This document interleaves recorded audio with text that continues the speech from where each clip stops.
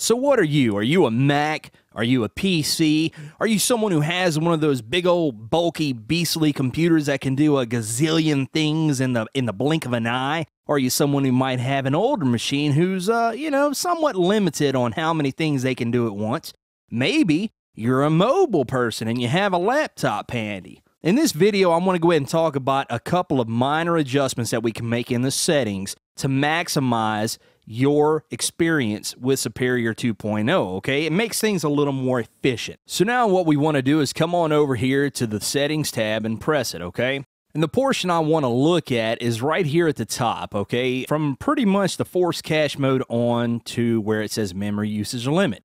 Now, the reason I want to do this is because by checking some of these boxes, you may find that the kit sizes will shrink dramatically, okay? Thus, helping the performance of your computer, whatever it might be. So, first, I want to talk about the force cache mode. Now, this one right here tells the sampler to go ahead and start in cache mode, all right? Now, it's going to be helpful if you want to check and make sure that your system is going to meet the requirements of the kits. And next on the list is the default 16-bit kit. Now this is something I like to go ahead and use, all right? And just to give you an idea, I have a pretty powerful computer. I'm using a, a Mac Pro with 8 cores and 6 gigs of RAM, you know, so I'm not hurting for power right now, but I just like knowing that my machine will be able to handle these kits in 16-bit mode regardless. I mean, it shrinks the sizes down big time. Okay, so next on the list is no visual hits, and this too is pretty self-explanatory.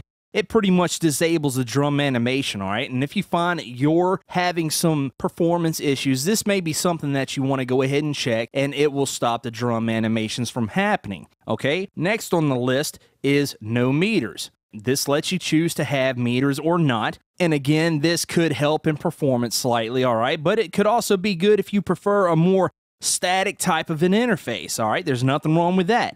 Also, right down here, you have another option that is called memory usage limit.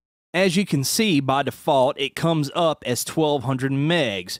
Now, what this means is that is the memory limit Superior 2 will use to make sure that your computer doesn't crash. Now, this is going to be a good number for most systems. However, you may want to make it higher or you may need to make it lower depending upon your system, okay? And those are just a few quick options that you can select or not to ensure that your system's performance will be up to par and everything's going to run smooth, okay? Thanks so much for watching. I hope you stay tuned. We're about to get started on the construction window right here. See you in the next video. Bye-bye.